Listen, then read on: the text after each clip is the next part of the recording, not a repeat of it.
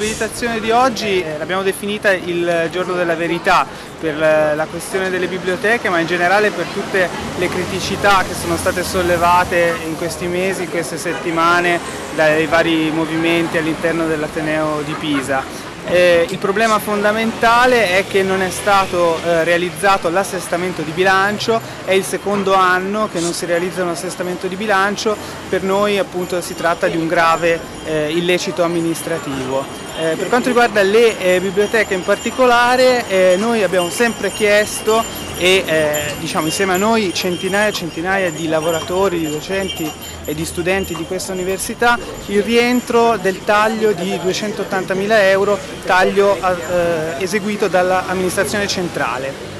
Eh, l'assestamento non c'è, il taglio non rientrerà e quindi noi oggi abbiamo presentato una proposta di delibera per stornare delle risorse da una voce a un'altra, cioè quelle delle biblioteche del bilancio e quindi recuperare tramite questa iniziativa, se vogliamo, dal basso questi tagli che per noi significano indebolire drammaticamente la nostra università. E oggi chiediamo all'Ateneo nei fatti attraverso il Consiglio di amministrazione di sostenere le biblioteche. Eh, ci sono stati diversi pareri autorevoli all'interno di questa università, sia della Commissione Quinta sulle biblioteche, sia del delegato del Rettore del Comitato di Indirizzo e Controllo del Sistema Bibliotecario, sia da parte dell'Assemblea sindacale che ha avuto luogo appunto alcuni mesi fa degli strutturati delle biblioteche, sia appunto dell'Assemblea nostra della, della, salvaguardia delle biblioteche che, di, eh, che, è composta da eh, dipendenti esternalizzati, strutturati, studenti e precari della ricerca e della didattica. Eh, e anche il Senato accademico l'altra volta è,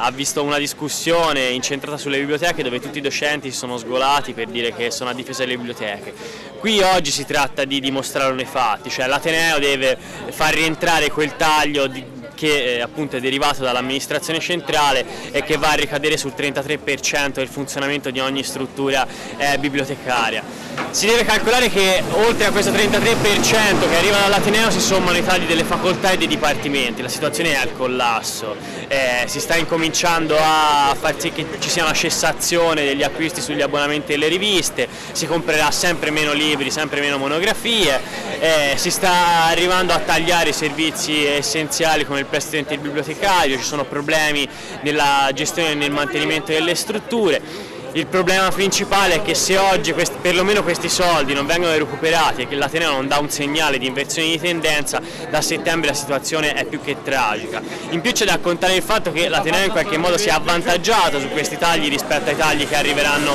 dal Ministero soltanto dal prossimo anno. Quindi ci aspettiamo dal prossimo anno una situazione ancora più grave se quest'anno non, non arriva appunto un segnale di, di inversione di tendenza.